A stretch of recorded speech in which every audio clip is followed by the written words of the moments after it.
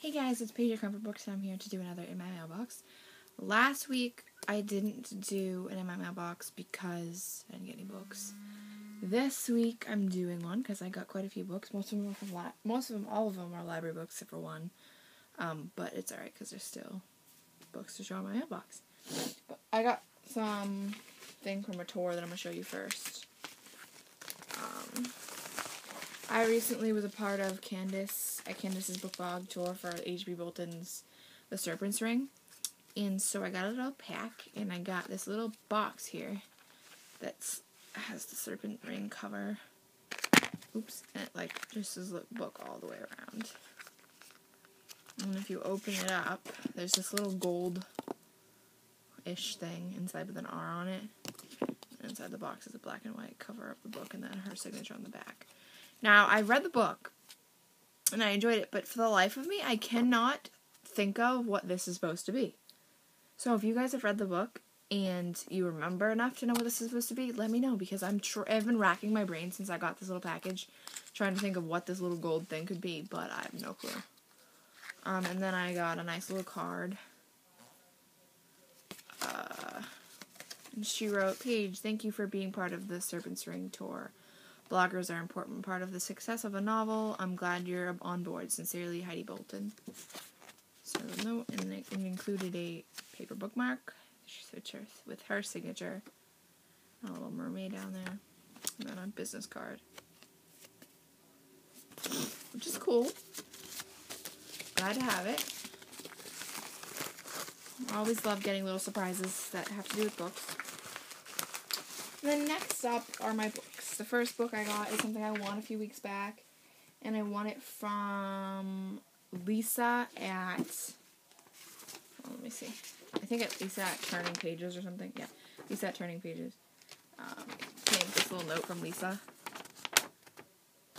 This is Paige. I heart reading. Thank you so much for entering my giveaway and congrats on winning. I hope you enjoy your very own copy of Saving June. And, and that's all she wrote. And then she wrote I Heart Books again, and then she wrote her blog thing. Pretty cute. I love her handwriting. But yeah, this is what I got. I got an arc of Saving June, and I have already read this, but I've, I, I was saying I'd love to have a copy, so I signed up for some giveaways. I didn't I didn't know this was gonna be an arc, which I'm kind of disappointed about, but I don't care because I like books. So I'm just glad to have a physical copy. I um I did read this though back when it came out, and I really really enjoyed it. I love Hannah Harrington's writing. I actually just finished her second book, Speechless, last night, and it was so good. I'm gonna put my video review up after I put this up, or before. I don't know which which way I'm gonna do that yet. But it was so good, and my written review is gonna go up tomorrow, so you can check both out if you want to. But I'm telling you right now, you're gonna love both books because they're completely amazing.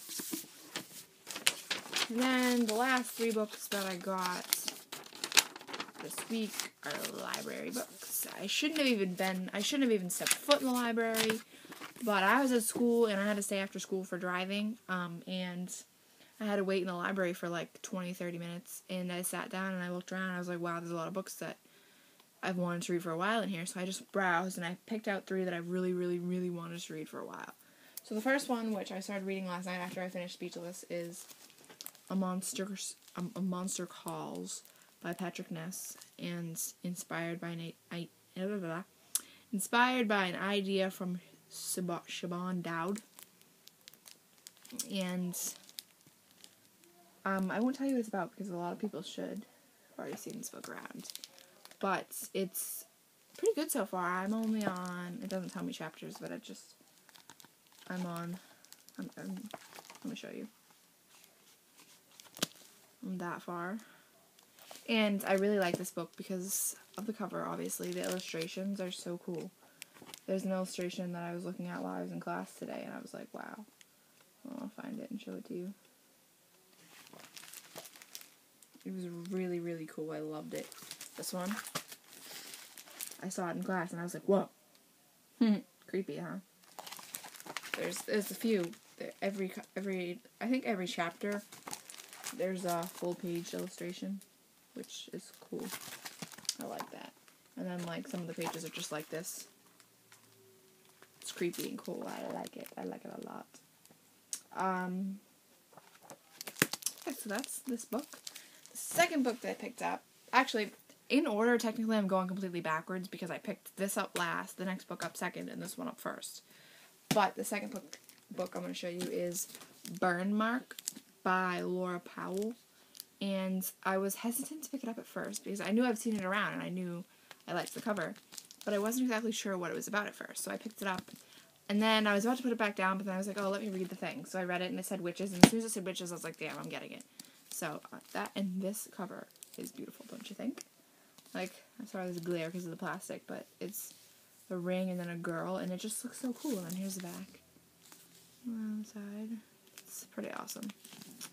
It's not too thick of a book. Neither of these books. None of these books are really that thick, thick, thick. Um, this is the biggest out of all of them at uh, 403. So it is pretty big, but not bad to where it's like 600 pages. But the last book I got, which is a book I got from NetGalley a long time ago that I never read. I don't know if you classify it as young adult. I think you might, but who knows. And that is Codename Verity by Elizabeth Wayne. And it's about Germany. I think it's like Nazis and stuff like that. Um, when the Holocaust was going on, I'm pretty sure.